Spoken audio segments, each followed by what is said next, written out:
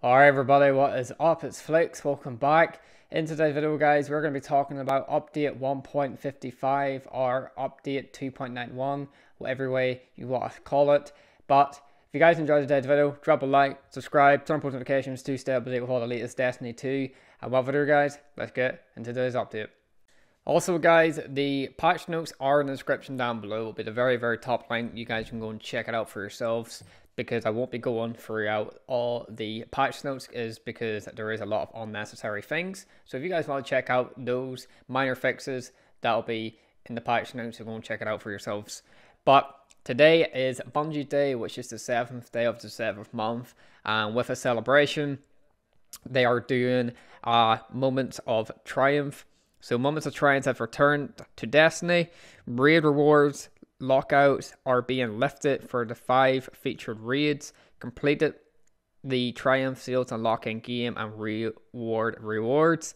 So it's not just in game rewards, you can actually unlock real world rewards. So there's going to be the raid ring and the emblem. There's going to be a moment of Triumph Sparrow, raid cosmetics rewards. There's going to be a moment of Triumph Ghost, three moments of Triumph emblems.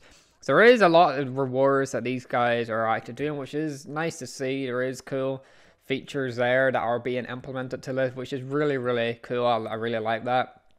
Starting today, the weekly reward limit is being removed from five featured raids. You will be able to farm rewards, including exotics, from the main encounters as much as you like. Secret chests will still remain on a weekly limit. Here are the five featured raids, which is Eater of Worlds, Spire of Stars, Crown of Sorrow, Sword of the Past, and I believe this is how it's pronounced is Le- Leafan. Leafan. I'm not too sure how you pronounce that. So that is the five feature raids in today. So that is rather cool. Completing all five of the feature raids grants a special emblem along with the ability to purchase a special raid ring throughout the Bungie reward. The ring is displayed on the screen right now, but I do not have an image of the emblem, so I do apologize for any inconvenience. I have not seen it on the website, so I do apologize for that, guys. But also, if you guys do a direct donation for $25 or £20, you guys will earn a Bungie 2 emblem and you will be able to 100% support of your donation will support the iPads for the kids program also, if you guys want to go over and donate $25 or £20 for the Bungie Foundation Destiny 2 emblem, head over to the web to donate. 100% of your donation will support the iPads for the kids program. You guys will get an emblem which will be emailed to you within 48 hours.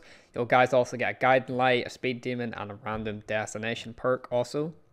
Plus, if you guys need some new wallpaper, they have also give you free new wallpapers which will be displayed on screen for you guys right now.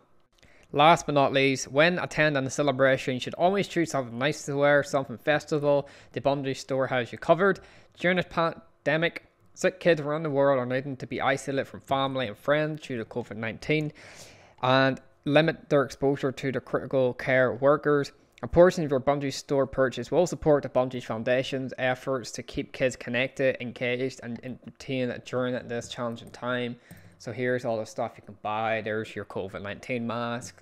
You know, there's a, a wee fancy book, shirt, rings. You guys name it.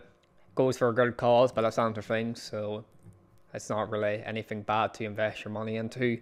But apart from that, guys, that's pretty much it for today's update. The patch notes weren't anything really significant. They weren't mind blowing and it wasn't really worth getting into.